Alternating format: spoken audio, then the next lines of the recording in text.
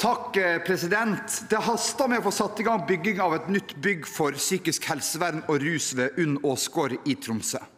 Bygningsmassen fra 1960-tallet er gammel, utslitt og lite egnet for dagens behov innenfor psykisk helsevern og rus. Og jeg har flere ganger vært på besøk og snakket med både pasienter, pårørende og ansatte om forholdene på UNN Åsgård. Det er for å si det rett ut, president, ikke verdige forhold. Og det er et paradoks at Helse Nord har vedtatt å bruke nesten 300 millioner kroner fremover på vedlikehold av et bygg som er vedtatt skal rives.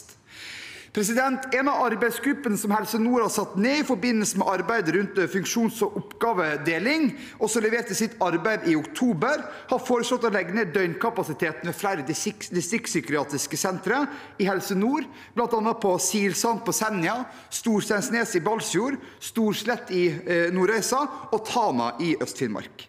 Min bekymring er at nedleggelse av døgnkapasiteten ved disse stedene og kommer til å redusere den samla behandlingskapasiteten innenfor psykisk helsevern i Helse Nord.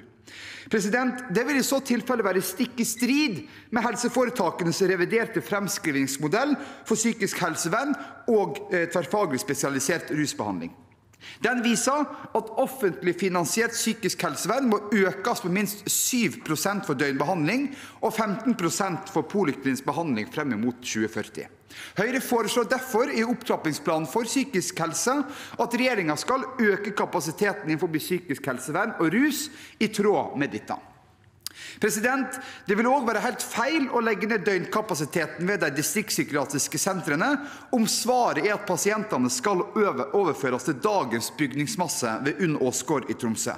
Det kan godt være at det må gjøres endringer på sikt i organisering av tilbudet, men det mener jeg forutsetter et nytt bygg for psykisk helse og rus ved UNN Åsgård i Tromsø.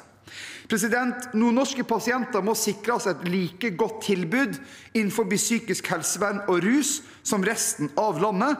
og Derfor haster det med å sette i gang byggingen av nytt bygg for psykisk helsevern og rus ved UNN Åsgård i Tromsø. Behandlingskapasiteten må styrkes og ikke svekkes.